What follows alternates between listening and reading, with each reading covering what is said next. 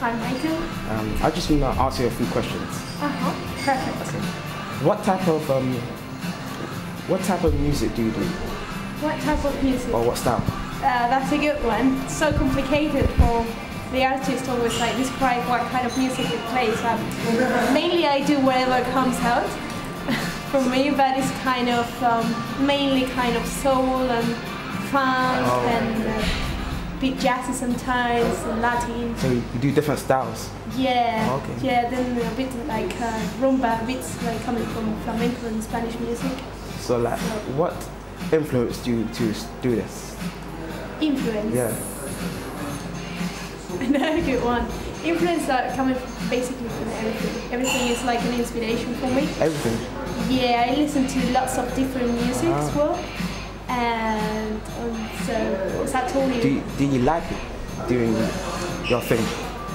Do you like doing your music? oh, I love it. I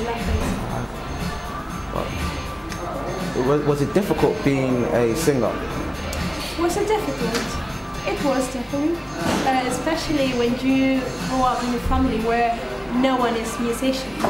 So then you are meant to direct your life in a different area, you know, kind of becoming a lawyer or something like that. Ah, which was actually what I was, what, what I started doing, like studying law and stuff like this.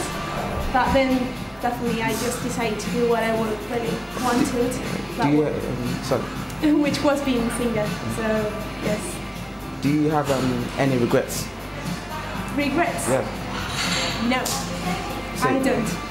So you like the way that, you are? Yeah, because I, I really like it's like um, really satisfying being like doing Do music. Do you think music has make you, made you a better person? Better person. Yeah. Of course, man. I think uh, definitely like doing music for a living makes you see life in a different way.